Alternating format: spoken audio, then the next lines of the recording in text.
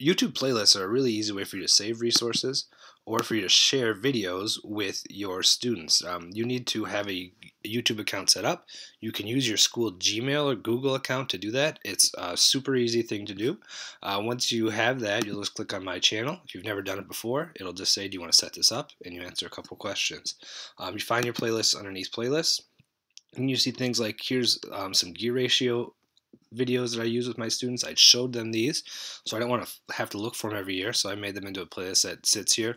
Also, uh, my rocket construction one, the kids would uh, watch how to do part of this. I'd share this uh, playlist with them. They'd watch a video and follow along. Um, so this was something that my kids actually interacted with. I've also seen um, some people use them to share book trailers. So if you have a whole bunch of different videos um, of book trailers you want your kids to be able to see and pick which book they want, a really easy way to do this. Um, you could also if you have your students making their own videos, uh, put those into a uh, the final product into a YouTube playlist and have the kids watch each other's videos on Chromebooks.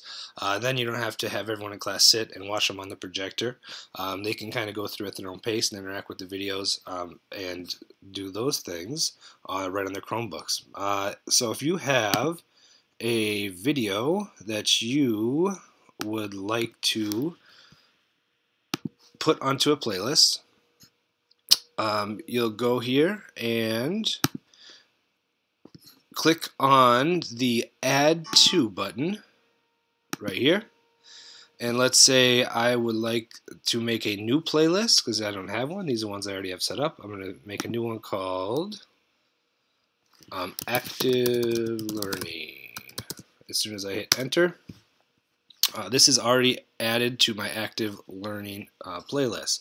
Say I want to add a different one. I'm going to go here and I'm going to click add to. Now it shows up in my list and I can add another video. Let's say I want to add one more. So I'll click here. I just need to click on add to active learning. Now I've got three videos added to that playlist. If I want to go back to my channel and see them, I can do so.